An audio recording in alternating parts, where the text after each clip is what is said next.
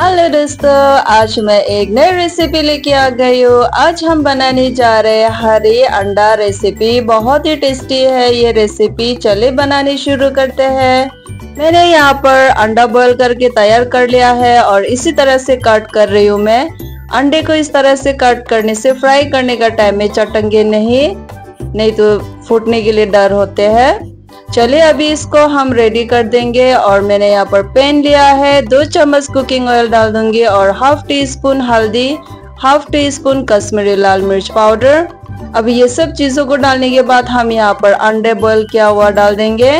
इसको हम यहाँ पर सब अंडा को डालने के बाद अच्छे से इसको एक मिनट, दो मिनट तक हमें इसको उलट पुलट करके थोड़ी सी रेड कलर आने तक हमें फ्राई करेंगे। बाहर का कवर थोड़ी सी क्रंचीनेस आते है, इस तरह से फ्राई करने से, और लुक्स में भी बहुत ही अच्छे लगते हैं देखने के लिए। अभी हम चलिए ग्रेवी बनाने के लिए तैयार करते हैं। मैंने यहाँ पर प्याज लिया है, छोटी साइज़ में दो प्याज लिया है, और हम यहाँ पर अदरक और लहसुन और हरी मिर्च भी लिया है। ये देखिए, इसको भी हम यहाँ पर डाल के मिक्सर में अच्छी सी पेस्ट बनाएँगे ग्रेवी बनाने के लिए। मैंने यहाँ पर खूब सारा धनिया पत्ता भी लिया है। आप हरी मिर्च कम ज़्यादा कर सकते हैं। और इसको हम अच्छे से पीस के तैयार कर लेंगे। और मैंने यहाँ पर अंडा को फ्राई करने के लिए रखिया था। उसको हम यहाँ पर निकाल देंगे एक बॉल पे।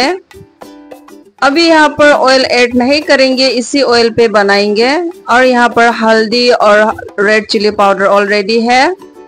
मैंने यहाँ पर काली मिर्च तीन चार पीस डाली हुई है, दो लौंग डाली हुई है और दो छोटी वाला हरी इलायची भी डाली हुई है। फ्लेवर अच्छे आने के लिए इसको हम इस तरह से मिक्स कर देंगे।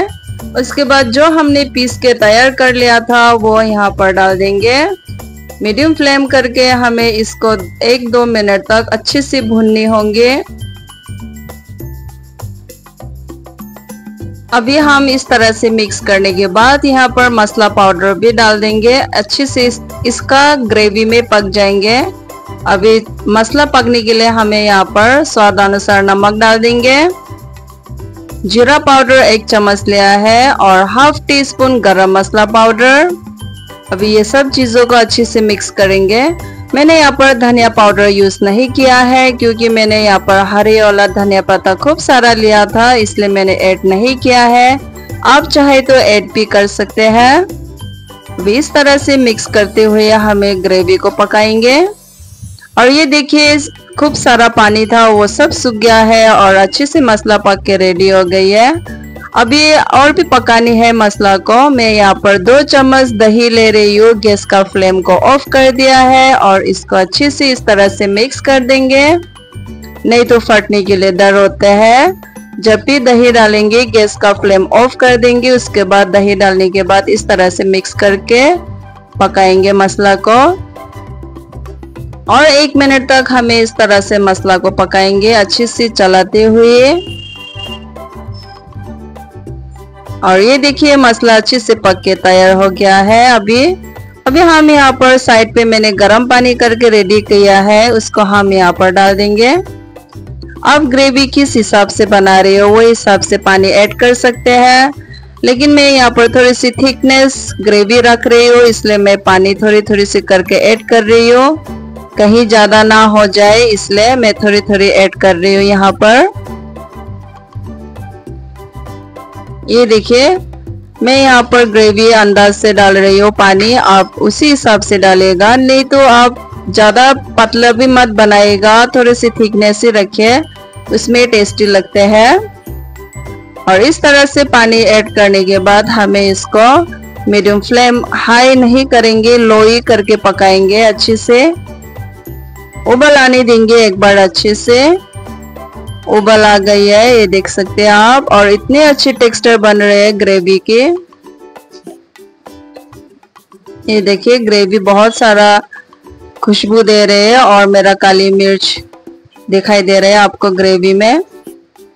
और मैं यहाँ पर दो चम्मच क्रीम डाल रही हूँ। ये देखिए, यहाँ पर क्रीम भी डाल दिया है अभी। और यहाँ पर इस तरह से मिक्स करने के बाद देख सकते हैं आप, कलर में बहुत ही चेंज आ गई है। इस तरह से मिक्स करके इसको हम उबलने देंगे। उसके बाद जो हमने फ्राई करके अंडा रखी हुई थी, इसको भी डाल देंगे यहाँ पर। और मैंने यहाँ पर एक चम्मच कसूरी मेथी भी डाल दिया है। आपको पसंद हो तो डालिएगा, नहीं तो स्किप भी कर सकते हैं।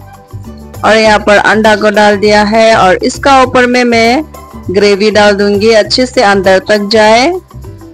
ये देखिए। इस तरह से मिक्स कर देने के बाद हमें ढक्कन लगा देंगे। ढक्कन लगा के एक मिनट तक हमें अच्छे से बॉयल आने देंगे। अच्छे से उबल आने देने के बाद गैस का फ्लेम को ऑफ़ कर दूँगी। गैस का फ्लेम को ऑफ़ करने के बाद ढक्कन खोल के देखती हूँ मैं एक बार। ये देखिए, बहुत ही अच्छे लग रहे हैं। आप देख सकते हैं, मेरे अंडा रेसिपी बन के तैयार हो गया है। अभी हम यहाँ पर धनिया पत्ता डाल देंगे। और इसको हम इस तरह से अच्छे से मिक्स कर देंगे। आप भी एक बार ये ज़रूर बना के खाइएगा। बहुत ही पसंद आने वाला रेसिपी है। आपको पसंद आए तो प्लीज़ कमेंट भी कर दीजिएगा और शेयर भी कर दीजिएगा।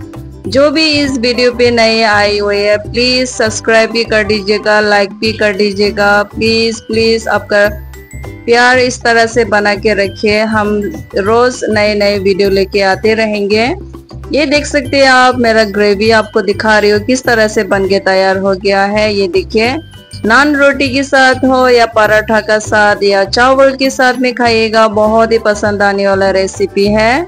इसी तरह से नए नए वीडियो लेके मैं फिर आती रहूँगी। ये देख सकते हैं आप, इतने अच्छे बन के तैयार हो गया है। तब तक के लिए बाय बाय